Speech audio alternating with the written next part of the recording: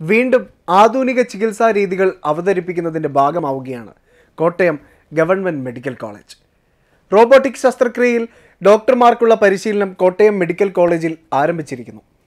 രോഗിക്ക് ശസ്ത്രക്രിയ ആവശ്യമായി വരുമ്പോൾ രോഗിയുടെ ശരീരഭാഗങ്ങളുടെ ഉള്ളിലേക്ക് ഉപകരണങ്ങൾ കടത്തിവിട്ട് റോബോട്ടിക് സഹായത്തോടെ ശസ്ത്രക്രിയ നടത്തുന്ന ചികിത്സാ രീതിയാണ് റോബോട്ടിക് ശസ്ത്രക്രിയ. അതിനായി പ്രത്യേകതരം റോബോട്ടിക് സംവിധാനങ്ങൾ ഉപയോഗപ്പെടുത്താറുണ്ട്.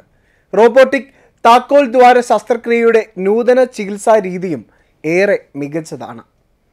രോഗിയുടെ ആന്തരിക അവയവങ്ങളുടെ കൃത്യവും വ്യക്തവുമായ ധാരണ ലഭിക്കുന്നതോടൊപ്പം വളരെ കൃത്യമായി ശസ്ത്രക്രിയകൾ ചെയ്യുന്നതിനും ഈ സംവിധാനം ഉപകാരപ്പെടും. General surgery gastro surgery uro surgery onco surgery thoracic surgery neuro surgery തുടങ്ങിയ എല്ലാ സ്പെഷ്യലിറ്റികളിലും വളരെ ഉപയോഗപ്രദമാവുകയാണ് ഈ വിധത്തിലുള്ള ശസ്ത്രക്രിയകൾ. ഇപ്പോൾ അത്രയൊന്നും സാധാരണമല്ലെങ്കിലും ഭാവിയിൽ രോഗികൾക്ക് ഏറെ പ്രയോജനപ്പെടുന്നതാണ് റോബോട്ടിക് ശസ്ത്രക്രിയകൾ. ഇൻഡ്യൂറ്റീവ് കമ്പനിയുടെ da Vinci robotic surgery unit Kottayam medical കോളേജിൽ എത്തിയിട്ടുള്ളത്.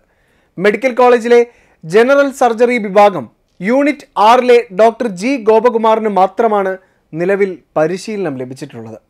അദ്ദേഹത്തിന്റെ നേതൃത്വത്തിൽ മറ്റ് വിഭാഗങ്ങളിലെ മുഴുവൻ ഡോക്ടർമാർക്കും പരിശീലനം നൽകി വരുന്നു. ഇതിനു വേണ്ടിയാണ് ഇപ്പോൾ ഒരു റോബോട്ടിക് യൂണിറ്റ് കോട്ടയം മെഡിക്കൽ കോളേജിൽ എത്തിച്ചേർന്നിരിക്കുന്നത്. പരിശീലനം ഇതിനോടകം പൂർത്തിയായി കഴിഞ്ഞിരിക്കുന്നു. ഭാവിയിൽ രോഗികൾക്ക് ഏറെ ഗുണകരമാവുന്ന ഇത്തരം നൂതന ചികിത്സാ രീതികൾ നമ്മുടെ ആരോഗ്യരംഗത്ത് അവതരിപ്പിക്കുന്നത് ഏറെ പ്രശംസനീയമാണ്. ഇത്തരം ചികിത്സാ രീതികൾ കേരളത്തിലും വരുന്നതോടെ ഡോക്ടർ ആവാൻ ആഗ്രഹിക്കുന്ന വിദ്യാർത്ഥികൾക്കും ഇത് ഒരുപാട് ഊർജം പകരും.